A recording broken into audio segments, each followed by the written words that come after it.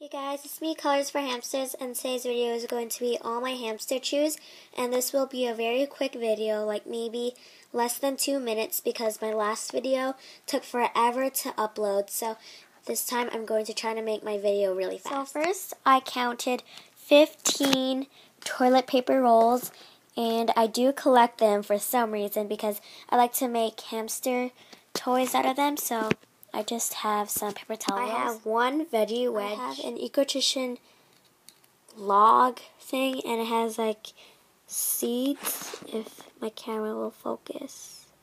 Now there's like seeds on this side, but there used to be alfalfa on this side, but I just took it out. I have some pretzel sticks, some Super Pet apple orchard sticks, and there used to be 10 in here, but now there's four. Snack Shack chews, and these are in the apple shaped bag of different types of chews. Like I have seagrass twists, rice pops, mineral chews, um, sticks, um, veggie chews, popsicle sticks, and a whole bunch of hamster chews. This bunny toy. Right uh, in this corner, I just have some cardboard pieces and a homemade hamster toy. I have a glue gun, extra glue gun sticks. At the bottom, I just have a few hamster chews. I have like um, a veggie wedge, seagrass twists, rice pops, wood chews, and that's yeah. basically all my hamster chews. So please comment, rate, subscribe, and request. Thanks for watching. Bye.